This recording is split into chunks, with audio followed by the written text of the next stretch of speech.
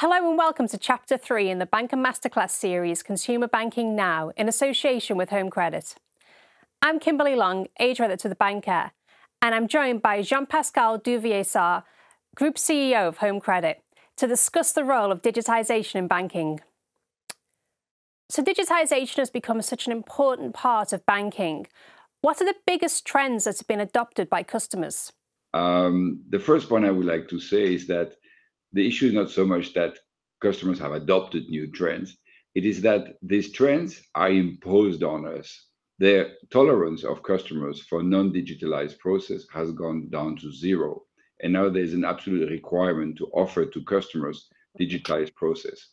And the, the level of performance which is expected from financial institutions is not or has nothing to do with the performance of other financial institutions the expectation of customers across all their transactions and purchases in the digital world are the same, and they are defined by the Googles of the world, the Amazon of the world, and that's the type of performance that you have to basically deliver. That's one point I want to say. The second point I would like to say is that it has to be seamless. And it has to be seamless not just in the digital world, it has to be seamless across channels people tend to assign a um, emotional value to a company based on the worst of the process they will encounter. And you need to be able to offer a seamless process, seamless experience across the channels, even abilities to switch from one channel, let's say digital, to a call center without having to repeat whatever has been said before. And the third point I would like to say is that people expect personalized offers by now, if you get something as an offer on your phone, and then you realize it's just a um, totally generic banner, and then once you really deliver your product, you're not offering what you promised, there's a clear issue with your personal uh, experience with your customers. How has the pandemic impacted on both companies and customers in terms of their use of digital services? Uh, there are multiple um, points that have basically changed in the way customers as you rightfully ask, are interacting with their customer, their finance. The first one is before, if you wanted to know the state of your finance, you had to go to the bank or you had to receive and wait in the mailbox your bank statement. By now, it becomes instant availability. So at any point in time, I know how my portfolio of stock can do. I know how much money I owe to my um, to my bank and the like. So this has basically uh, change the uh, the relationship with the bank because you become a closer partner of your customers.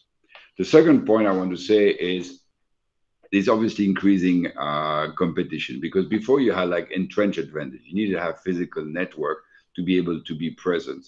By now, through digital, you basically have a uh, ability for newcomers to come, and we've seen that and witnessed that in many different countries where newcomers are coming quite quickly.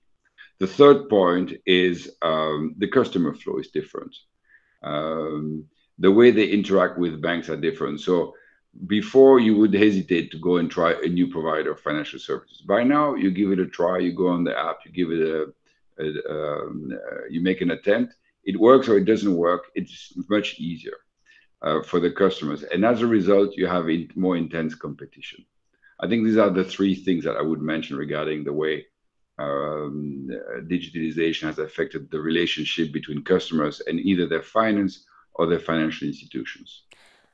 And how has digitization affected customers and their relationship with their finances?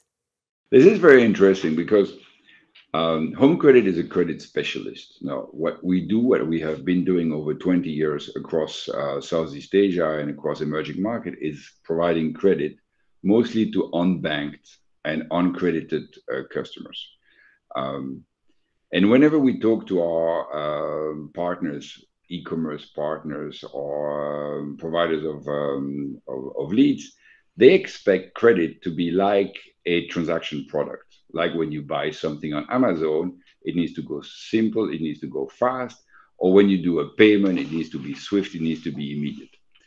The particularity, though, of credit is that it is not just a transaction, there is a risk embedded into the transactions. And you cannot basically provide the same easy uh, service as for a transaction. You cannot guarantee 100% successful transaction because you will have basically a problem with your credit quality.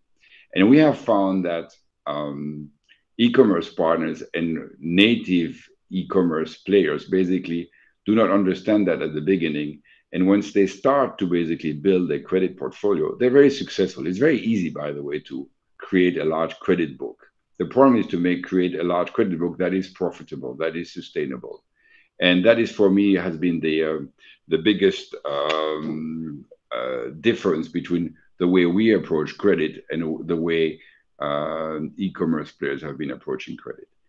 Going forward, what does that mean? I think that a lot of people that have been playing in credit uh, in e-commerce or digitally will basically have to um, revisit some of their assumptions and change the way they do business to integrate the fundamental of credit to their um, to their activities. And once this is being done, it's obvious that the future for credit in digital is obviously bright. Thank you for sharing your insights, Jean Pascal. And in the final chapter of this series, we will be looking at the impact of greater access to consumer credit on the community and the economy.